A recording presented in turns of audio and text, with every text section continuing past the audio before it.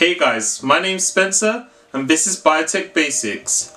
And so my plan of this YouTube channel is to produce loads of videos where I'll be giving you all an insight into the field of biotechnology. So I'll talk about its applications and then also cover the industry as a whole. And then going on further from there, I may even surprise you with some of the things that I mentioned going on right now in biotech. And so now for this particular video on why biotechnology should be more important to you, or at the very least, why you should pay more attention to biotech. And so there's many things I could talk about, but I could just lecture you guys here for an hour. So I'm just gonna cover a few things in biotech. And while watching this video, I want you to be thinking of what challenges do we face in society? And I believe biotechnology has the potential to answer many of these issues, if not all of them. And so when you look at things like climate change and overpopulation, biotech is coming up with ways to increase production of food and increase the harvest of crops to, to meet this demand and while at the same time reducing the environmental impact that these processes have. And then going on further, looking at things like medical biotechnology, you can see how there's so much interest in studying biotech drugs to treat diseases like cancer, many others, where people may not have even survived 10 years ago. And in addition to that, it's also improving the quality of life that people get to enjoy after going through intensive treatments. So yeah, so in addition, with all of this potential biotech has, there's a lot of money, a lot of investment going into it. And so as you see, a lot of big tech companies are starting to move towards investing in biotech and healthcare. And so I'm gonna, I'll mention Google and Amazon later, but there's really many more companies that are doing a lot of stuff in this space. And then if you're one of those people who are thinking stuff like, oh, is AI going to take away all, all our jobs or something? Well, biotech is an area that is growing, growing, growing. So if you're concerned about jobs, you should definitely be looking and exploring biotech even further. So yeah, and then uh, in addition, so before I probably go in depth onto why um, biotech is important, I'm just going to give a little bit of background. So some of you guys may be thinking like, oh, who's this guy? What qualifications does he even have to be talking about biotech? But uh, well, for me, um, I graduated last year with a degree in biomedical science and I'm about to start a master's in a few weeks in biotechnology and I've spent some time working with um, companies in the biotech space in the past year. And yeah, and I'll also include references in the video description down below so if there's anything I mention and you want to explore it further, learn more about in more detail, then I'll put the link below so you can follow it up for yourselves. So yeah. First of all, I want to talk about investment. So a study by KPMG showed that the pharma and biotech sector was second to only the software industry worldwide for venture capital funding in 2017. And so for those of you that don't know, Venture capitalists are investors that invest money into small startup companies in return for a share in the business.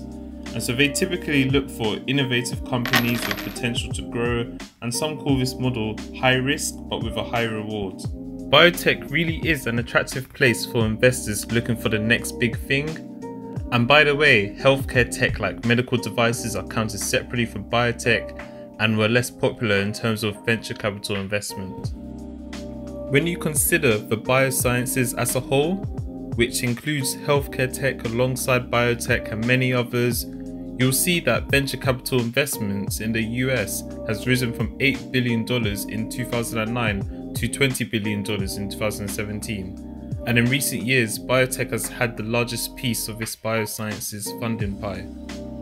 And however, it's not just the US that is interested in biotechnology. So the funding of UK life sciences companies reached a 10-year high in 2015, and this followed the boom, the biotech boom in the United States, and in the rest of Europe and China, and actually pretty much the rest of the world, there's been a rapid increase in the popularity of biotechnology.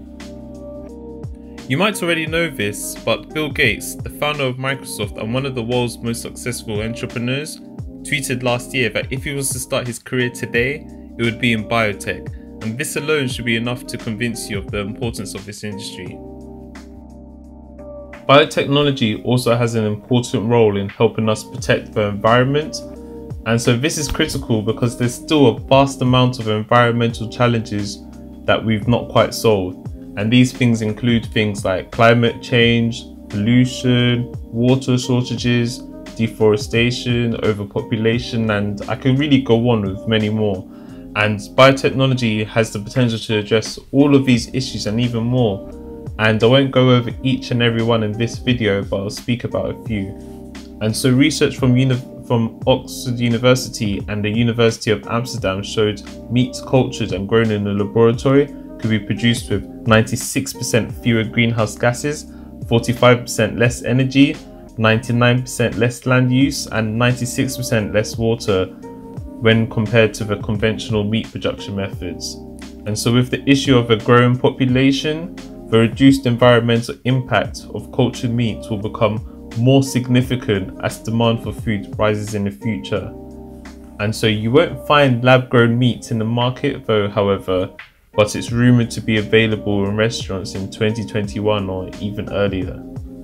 And so yeah, and then uh, people are also finding ways to convert food waste into biofuels that power cars and buses, and they're also using biotech to help with the manufacturing of goods that are less likely to make waste that will sit at landfill sites for hundreds of years. When we consider the involvement of politics in biotech, you can just see how valued it is so in July earlier this year, the UK government declared its desire to put life sciences at the heart of the UK economy.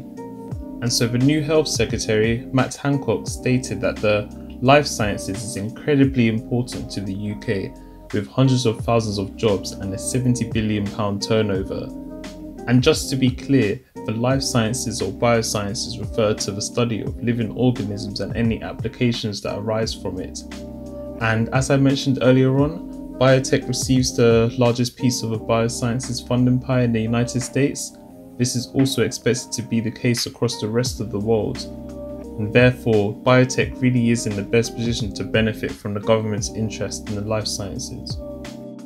The government also unveiled its Industrial Strategy Challenge Fund last year, which will invest in researchers and businesses that want to address the biggest industrial and societal challenges we face today.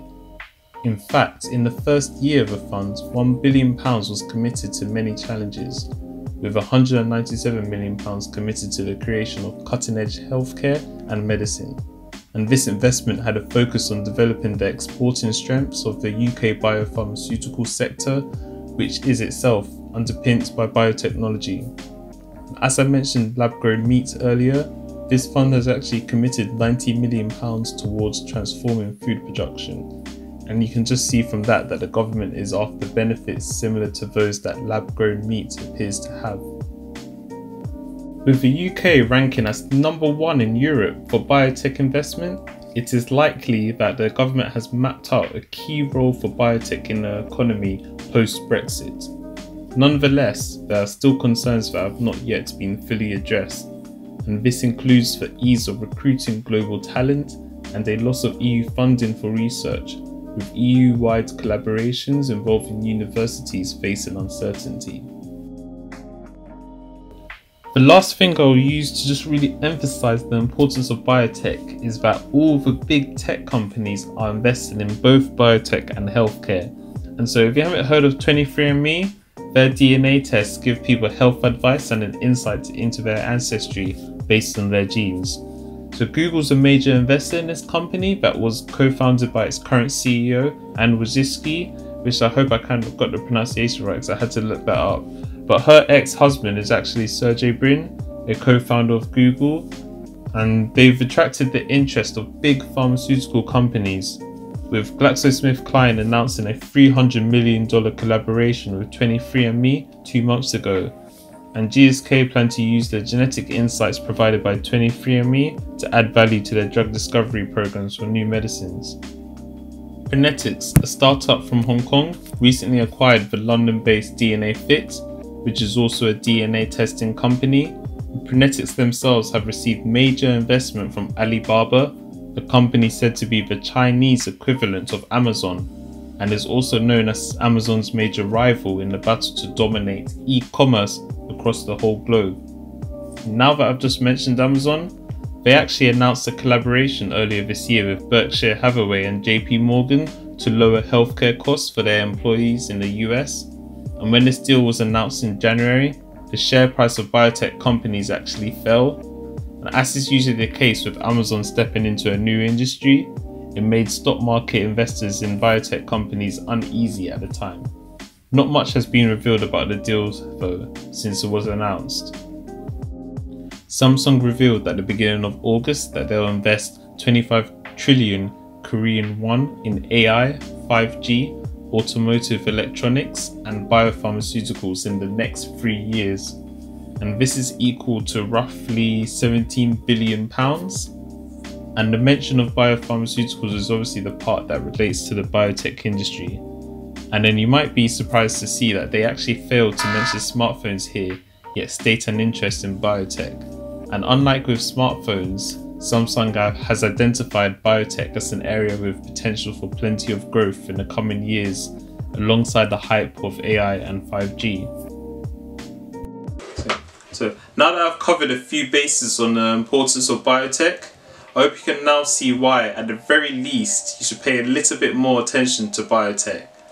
And so if there's any other reasons you can think of that shows biotech's important for society, feel free to comment below or if there's anything that you felt that I would have mentioned today, also let us know. And going on further, if you have any feedback, whether it's positive, negative, even if it's about the most random things on this video, please just let me know. It's the first one, so I want to be able to learn from this. And uh, also, going on further, if I'll, be, I'll hope to be making loads more videos where I'll talk about things in biotech that may even surprise or excite your imagination. So if you're looking forward to that, and also more importantly, if I manage to convince you of the importance of biotech, then you should definitely subscribe and also enable notifications so you can get reminded when the next video comes out. So yeah. Until next time, this is Biotech Basics.